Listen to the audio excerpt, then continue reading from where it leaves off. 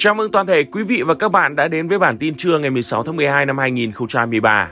Trước khi đến với những thông tin chi tiết xuất hiện trong bản tin trưa ngày hôm nay, một câu hỏi chúng tôi muốn hỏi quý vị và các bạn. Nếu trong trường hợp huấn luyện viên Ten Hag bị sa thải, huấn luyện viên nào sẽ phù hợp nhất vào thời điểm này về chữa cháy tại Manchester United? Mời quý vị và bạn hãy cùng comment câu trả lời bên dưới và cùng cập nhật những thông tin cụ thể trong bản tin trưa ngày hôm nay. Ten Hag vẫn được chống lưng trước derby nước Anh. Sức ép lên huấn luyện viên Erik Ten Hag đang ngày một lớn hơn sau chuỗi trận bết bát gần đây.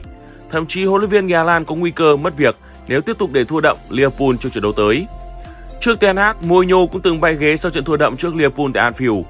Tuy vậy, huấn luyện viên Mười khó khẳng định ông không hề lo lắng về việc mất ghế. Ngược lại, chuyên gia này còn cảm thấy đội bóng vẫn đang đặt niềm tin lớn vào ông, bất chấp những chuỗi trận không tốt vừa qua. Ông cho biết, tôi muốn giành chiến thắng và đưa đội bóng đi đúng hướng. Đúng là chúng tôi chưa đạt được tiêu chuẩn, nhưng Manchester United có tương lai tươi sáng khi nhìn vào dàn sao trẻ tiềm năng tại câu lạc bộ lúc này. Tôi cảm thấy mình vẫn đang được lãnh đạo câu lạc bộ ủng hộ. Tôi cũng nghe họ nói về điều đó. Điều đó là rất tốt, nhưng lúc này thì tôi vẫn muốn tập trung cho trận đấu tới, cho kế hoạch của câu lạc bộ. Thực tế cho thấy Manchester United vẫn đầy niềm tin vào Ten Hag. Họ cũng hiểu rằng khó để tìm được nhà cầm quân nào giúp họ vượt qua khó khăn vào thời điểm này. Ten Hag vẫn duy trì kỷ luật thép tại Manchester United và giúp ông này duy trì được trật tự, bất chấp nhiều ý kiến cho rằng cách làm đó là quá hà khắc. Rashford bất mãn với Ten Hag. Football Insider mới đây đã tiết lộ những thông tin rất nhạy cảm từ phòng thay đồ của Manchester United. Họ cho biết Marco Rashford, người mới chỉ ghi được hai bàn thắng trong mùa giải này ở thời điểm hiện tại, là trung tâm của một cuộc nổi loạn trong phòng thay đồ tại Old Trafford. Theo đó, thì Rashford và một số cầu thủ không hài lòng với cách làm của huấn viên Erik ten Hag mùa này.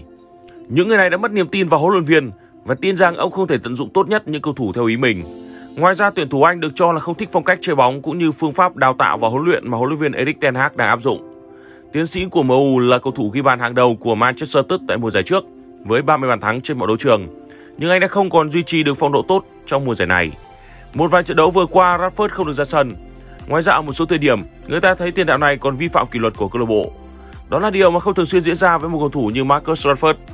Tin đồn bất hòa giữa Rashford và huấn luyện viên Ten Hag là hoàn toàn có cơ sở và nó có thể dẫn đến những hậu quả rất nặng nề cho Manchester United nếu hai bên không thể tìm được tiếng nói chung. Arsenal đón tin vui từ Martinelli. Trong thất bại 0-1 của Arsenal trước Aston Villa cuối tuần trước, Gabriel Martinelli đã dính chấn thương. Cầu thủ người Brazil đã phải vắng mặt trong cuộc đối đầu với PSV Eindhoven tại Champions League vào giữa tuần. Tuy nhiên, mọi chuyện hoàn toàn là không có gì đáng ngại. Martinelli đã bình phục hoàn toàn chấn thương và sẵn sàng trở lại trong trận đấu gặp Brighton vào cuối tuần này. Thông tin trên được huấn luyện viên Mikel Arteta đích thân xác nhận. Cậu ấy giờ đã cảm thấy ổn rồi.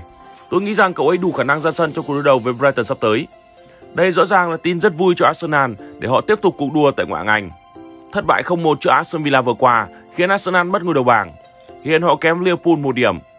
Ngày mai pháo thủ sẽ tiếp Brighton trên sân nhà trước khi gặp đối thủ cạnh tranh trực tiếp là Liverpool. Đây sẽ là hai trận đấu rất quan trọng, quyết định đến cuộc đua vô địch của thầy trò huấn luyện viên Mikel Arteta. Erling Haaland khó ra sân ở FIFA Club World Cup. Erling Haaland đã bỏ lỡ chiến thắng trước Luton Town vào cuối tuần trước tại ngoại hạng và chiến thắng trước sao đỏ Belgrade hôm giữa tuần ở Champions League vì chấn thương. Anh hiện đang được điều trị ở Marbella. Haaland đã báo cáo lại cho Manchester City về tiến độ hồi phục của bản thân vào thứ sáu và huấn luyện viên Pep Guardiola cho biết ông sẽ để các bác sĩ của câu lạc bộ đánh giá trước khi đưa ra bất kỳ quyết định nào tiếp theo cho việc sử dụng anh. Man City sẽ tới Saudi Arabia sau trận đấu vào thứ Bảy để chuẩn bị đá bán kết FIFA Club World Cup, nơi đối thủ của họ sẽ là Uruguay. Cụ thể về Erling Haaland, Pep chia sẻ như sau. Hôm nay Haaland đã tới và các bác sĩ sẽ khám cho cậu ấy, cũng như sẽ xem cậu ấy cảm thấy như thế nào. Cậu ấy đã được điều trị, hy vọng cậu ấy có thể tới Saudi Arabia và chúng tôi sẽ xem liệu cậu ấy có thể chơi trận đầu tiên hay trận thứ hai hay không. Nếu không thì sẽ là khi chúng tôi trở lại Premier League. Tôi không nghĩ cậu ấy sẽ có thể thi đấu trận gặp Palace, nhưng không chừng cậu ấy sẽ làm tôi ngạc nhiên. Pep thậm chí tính tới phương án xấu nhất là Erling Haaland không thể thi đấu bất kỳ trận đấu nào tại FIFA Club World Cup, cũng như cây ca vắng mặt trong trận màn so tài với Crystal Palace vào cuối tuần này. Thực tế thì đó không phải là những trận đấu quá khó và nếu biết cách cân đối, Man City vẫn có thể chiến thắng mà không cần Erling Haaland. Đây có thể xem là quãng thời gian Haaland cần được giảm tải nhằm trở lại mạnh mẽ hơn trong thời gian tới, những ngày đầu năm 2024. Chelsea đón tin xấu từ Robert Sanchez. Thủ thành Robert Sanchez đã khập khiễng rời sân trong trận thua 0-2 của Chelsea trước Everton vào chủ nhật tuần trước. Trên thực tế, chấn thương của thủ thành người Tây Ban Nha diễn ra vài ngày trước đó ở thất bại trước Manchester United. Việc cố gắng thi đấu đã khiến tình trạng trở nên nặng nề hơn. Chelsea vẫn chưa đưa ra mốc thời gian chính thức về việc thủ môn Sanchez có thể sẽ phải ngồi ngoài trong bao lâu, mặc dù các nguồn tin cho rằng anh sẽ vắng mặt trong khoảng 4 tuần. Điều này đồng nghĩa với việc cựu thủ thành của Brighton sẽ vắng mặt trong giai đoạn lịch thi đấu dày đặc của Chelsea dịp Giáng sinh và đầu năm mới 2024. Đội chủ sân Stamford Bridge sẽ có 6 trận trước khi tiếp đón Fulham vào ngày 13 tháng 1, thời điểm mà Sanchez có thể trở lại. Trong đó có 4 trận ở Premier League, một trận ở FA Cup gặp Preston, cũng như màn chạm trán với Newcastle ở Cúp Liên đoàn Anh. David Sanchez đã trở thành thủ môn số 1 của Chelsea sau khi gia nhập từ Brighton vào mùa hè. Chấn thương của Sanchez sẽ mở đường cho những cầu thủ khác, ví dụ như cầu thủ người Serbia Petrovic trở thành lựa chọn số 1 trong ít nhất là một tháng tới.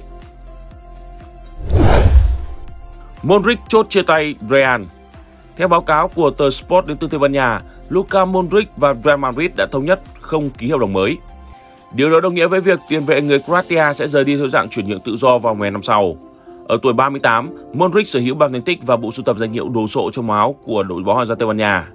Kể từ khi cập bến Real Madrid vào năm 2012, Modric từng bước chứng minh năng lực của bản thân.